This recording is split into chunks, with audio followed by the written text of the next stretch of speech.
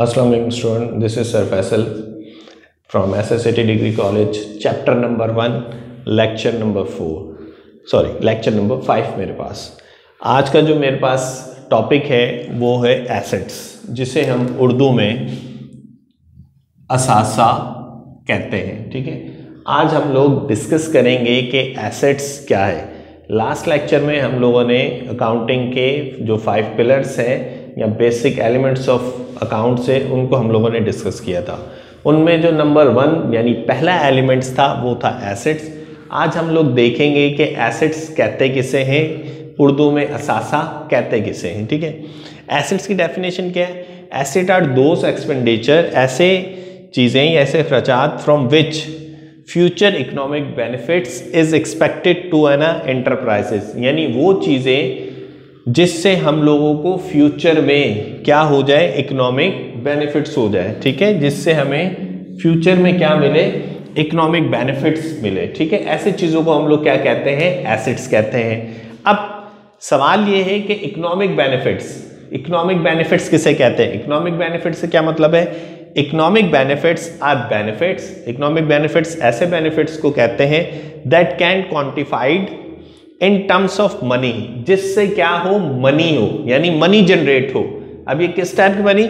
Generated such as net income revenue ठीक है?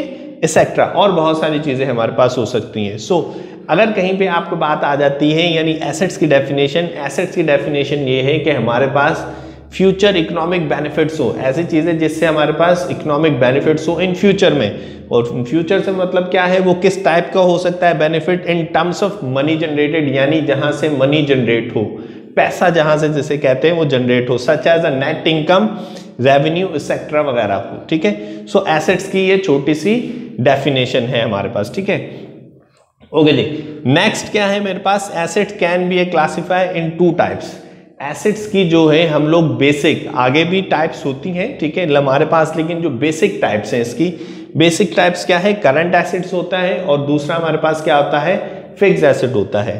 Current assets क्या है? From which economic benefits will flow in future within a year यानी वो assets जो हमें एक साल के अंदर अंदर क्या दें? इकोनॉमिक बेनिफिट्स दें, यानी कोई ना कोई फ़ायदा दें, यानी जिनकी लाइफ जो है वो एक साल के लिए हो।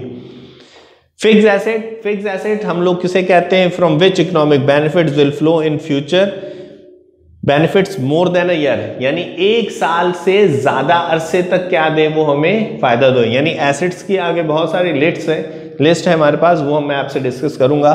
एसेट्स कुछ करंट एसेट्स होते हैं और कुछ क्या होते हैं फिक्स एसेट करंट एसेट उन एसेट्स को कहा जाता है जो एक साल तक हमें यानी एक साल के अंदर अंदर तक हमें क्या दें? कोई ना कोई मुनाफा दें। फिक्स एसेट्स किसे कहते हैं? जो एक साल से ज़्यादा अरसे तक यानी लंबे अरसे तक हमें क्या दें? वो हमें क्या दें? फ़ायदा दें। सो so, हमारे पास आज के लेक्चर में इतना था कि एसेट्स एसेट्स को उर्दू में कहते हैं हम लोग असासा। अक्सर आप लोग देखिएगा कि जो बड़े बड़े लोग हैं लाइक वसीम अकरम उसको भी कहा जाता है कि हमारे मुल्क का असासा है। अक्सर जिसे कहते हैं वो टीवी वगैरह में भी बात की जाती है। जो बड़े बड़े लोग होते हैं, वो क्या होते हैं? असासा उन्हें कहा जाता है, यानी वो मुल्क का, उनको कुछ ना कुछ इकोनॉमिक बेनिफिट जिसे कहते हैं, वो मिल रहे होते हैं, ठीक है? सो आज का लेक्चर मेरे पास इतना ही था कि एसेट्स हम लोग इन चीज़ों को कहते हैं जो फ्यूचर इकोनॉमिक बेनिफिट दे सच एज वो बेनिफिट्स कैसा होना है such as the net income वगैरह हो हमारे पास, ठीक है? एसेट्स को हम लोग दो टाइप बेसिक दो टाइप्स आगे भी होती हैं, कुछ टेंजिबल और इनटेंजिबल यानी फिक्स एसेट्स के जिसे कहते हैं टाइप्स फर्दर जिसे कहते हैं डिवाइड हो जाती हैं। उसमें से टेंजिबल एसेट्स भी आ जाते हैं और इनटेंजिबल एसेट्स भी आ जाते हैं, ठीक है? करंट एसेट्स को भी हम लोग लिक्विडिटी एसेट्स वगैरह में, यानी वो फर्दर जिसे कहते हैं, वो एडवांस लेवल पे हम लोग चले जाते हैं, ठीक है? सो करंट एसेट्स जो आपको एक साल के अंदर अंदर आपको कोई फ़ायदा दे रहे हो फिक्स एसेट्स का मतलब ये है, ऐसे एसेट जो एक साल के ज़्यादा अरसे तक आपको फ़ायदा दे रहे हो। Thank you so much student अल्लाह हाफिज़।